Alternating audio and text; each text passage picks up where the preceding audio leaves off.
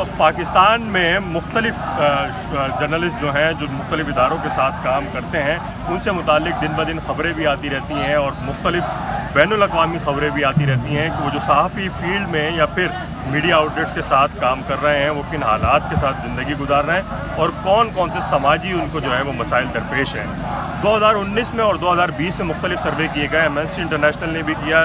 जे आई जे सी जो जर्मनी का एक इदारा है, वहाँ पर भी मुख्तलिफ़ रिपोर्ट्स आया हुई उसमें एक बात वाजे की गई थी कि पाकिस्तान में जो जर्नलिस्ट मुख्तलिफ़ इदारों के अंदर काम कर रहे हैं, उनको तीन बड़े चैलेंजेस और जो है मुश्किल का सामना है, जिसमें सोसाइटल चैलेंजेस हैं, ऑर्गेनाइजेशनल चैलेंजेस हैं और उसके साथ साथ प्रोफेशनल चैलेंजेस होते हैं, जिसके अंदर तनख्वाहों के मामला से लेके ज़िंदगी और उसके बाद सिक्योरिटी के भी मामला उनके आते हैं, ख़बर का रुकना, छपना या फिर ख़बर को अपनी मर्ज़ी से छापना, ये मसाइल भी सहाफ़ियों को पहले भी दरपेश थे, लेकिन अब जो है वो गो के हालात संगीन से संगीन तर होते जा रहे हैं। वर्स्ट कंडीशन है जर्नलिज़म की भी और जर्नलिस्ट की भी। इसी हवाले से ये जो हुकूमत है तरीके इंसाफ की ये एक बिल लेकर आ रही है, जिसकी बड़ी डिस्कशन चल रही है। सोशल मीडिया पर भी डिस्कस हुआ और उसके साथ साथ ऐवान बाला और ऐवान जेरी में भी जो है ये बिल जो है वो बहुत जल्द जो है वो लग, ऐसा रहा है कि पास कर दिया जाएगा और पेश कर दिया जाएगा। उस बिल में जो है वो मुख्तलिफ़ बातें जो हैं वो डिस्कस की गई हैं। जो कि सहाफ़ियों से भी रिलेट करती हैं और उसके साथ साथ सोशल मीडिया जिसको आजकल हम वर्चुअल वर्ल्ड के नाम से जानते हैं, उससे भी उससे भी जो है वो रिलेट करती हैं। जैसे बिल के अंदर एक चीज़ वाजे की गई है, हुकूमती नैरेटिव यह है कि ये बिल इसलिए पेश किया जा रहा है पाकिस्तान मीडिया डेवलपमेंट अथॉरिटी का कि सहाफ़ियों को उनके हकूक़ मिल सकें। जो फेक खबरें हैं, जो गलत खबरें हैं, उनको भी भरपूर अंदाज में रोका जाए। वो अगर तारीख का जायज़ा लिया जाए तो बहुत सारे ऐसे कवानीन हैं जो कैमरा के पास भी मौजूद हैं और उसके साथ साथ ए पी एन एस है और पी आई डी है और मुख्तलिफ़ इदारे हैं जिनके पास ये कवानीन मौजूद हैं कि गलत खबरों के ऊपर क्या एक्शन किया जा सकता है और उनको किस तरह रोका जा सकता है।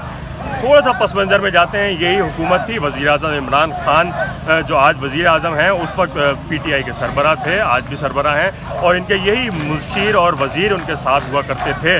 उस वक्त जो कि हुकूमत में नहीं थे, एक बात वाज तौर पर कही जाती थी, हमेशा बनी गाला से एक ही आवाज़ आती थी कि कोई भी हुकूमत, करप्ट हुकूमत का काम ये होता है कि सबसे पहले मीडिया का गला दबाया जाए, मीडिया की आवाज़ें रोकी जाएँ और ख़बरों को जो है, वो भी अपनी मर्ज़ी से चलवाया जाए, रुकवाया जाए और छपवाया जाए। अब ये जो मीडिया डेवलपमेंट अथॉरिटी का बिल आ रहा है, इसके अंदर भी कुछ ऐसी ही बातें हैं। कुछ नुकात जो है वो सहाफ़ियों से हैं गो के कहा यह गया है कि सहाफ़ियों की तनख्वाहों के मामला जो है वो इदारों को बेहतर करने होंगे, वक्त पे तनख्वाहें देनी पड़ेगी, उनकी इंश्योरेंस होगी। गो के, एक बात आपको वैसे भी याद करवाएँ कि 2017 के अंदर जब मुस्लिम लीग नून की गवर्नमेंट जा रही थी, उससे पहले भी एक बिल पास हुआ था, जो साइबर क्राइम बिल के पास, साथ पास हुआ था, उसमें भी ये बात वाज तौर पर लिखी गई थी। लेकिन उसका कोई अमल दरामद होता अब तक नज़र नहीं आया। सहाफ़ी जाते हैं, मुख्तलिफ़ कोर्ट्स के अंदर केसेस चलते रहते हैं और उसके बाद कभी नतीजा आया, कभी नहीं आया। आज जो है इसी हवाले से Pakistan federal union of journalist ने जो है वो इस्लामाबाद प्रेस क्लब में पाकिस्तान भर के सहाफ़ियों को जमा किया। यूनियंस को जो मुख्तलिफ़ शहरों की हैं, उनको जमा करके इस वक्त आप देख सकते हैं शारा दस्तूर है, शहर इकतदार है और ऐवान बाला है। इसके सामने जो है वो सहाफ़ी आके धरना दे के बैठ गए हैं। पुलिस से दो जगह रोकने की भी कोशिश की गई। पुलिस की जानब से डिस्ट्रिक्ट एडमिनिस्ट्रेशन के भी यहाँ पे कारिंदे मौजूद हैं और उसके साथ साथ सहाफ़ी यहाँ पर रात भर बैठेंगे। सुबह जॉइंट सेशन है ऐवान बाला का और ऐवान ज़ीरी का सेनेट का और पार्लियामेंट पार्लियामेंट ऑफ़ पाकिस्तान का, जिसमें सदर डॉक्टर आरिफ अलवी ने भी तकरीर करनी है। उस वक्त जो है वो ये देखा जाएगा कि कहाँ पर जो है वो सहाफ़ी उसके बाद ये धरना जो है ये ख़त्म कर दिया जाएगा और यहाँ रात भर जो है बैठा जाएगा और अपना एहतजाज जो है मुकम्मल तौर पर रिकॉर्ड करवाया जाएगा। डिजिटल मीडिया के हवाले से भी इस बिल के अंदर बहुत अहम नुकात मौजूद हैं, जिसके ऊपर ना तो गवर्नमेंट के कोई वज़ीर, ना कोई मुशीर इस पर बात करने के लिए राज़ी हैं, फवाद चौधरी हों या फिर शहबाज गिल हों। जैसा कि कहा गया है कि यूट्यूब भी जो है उसको भी कंट्रोल किया जाएगा और उसके साथ साथ मुख्तलिफ़ इदारे जो हैं, जो वेब के ऊपर काम कर रहे हैं, उसको भी कंट्रोल किया जाएगा।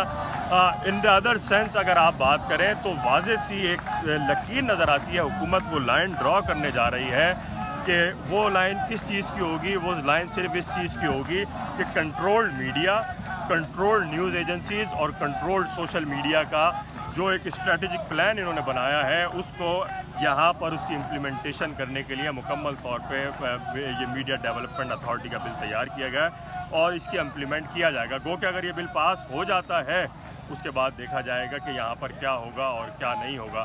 सहाफ़ी अभी भी जो है वो नारे लगाते नज़र आ रहे हैं। इस्लामाबाद प्रेस क्लब एफ़ से शुरू हुए थे और यहाँ तक पहुँच गए हैं। पूरे पाकिस्तान के जर्नलिस्ट, सीनियर जर्नलिस्ट भी यहाँ पे मौजूद हैं। हामिद मीर हों, मतीउल्ला जान हो मज़र अब्बास हों, नाजिर जैदी हों और उसके साथ साथ गरीदा फ़ारूकी हों या आसमा शराजी सा हों और उसके अलावा आम मीडिया वर्कर्स भी यहाँ पर मौजूद हैं। देखा यह होगा कि अब ये कल जॉइंट सेशन है। साफियों को ये प्रोटेस्ट ये आवाज़ उठाना कितना कारामद साबित होता है।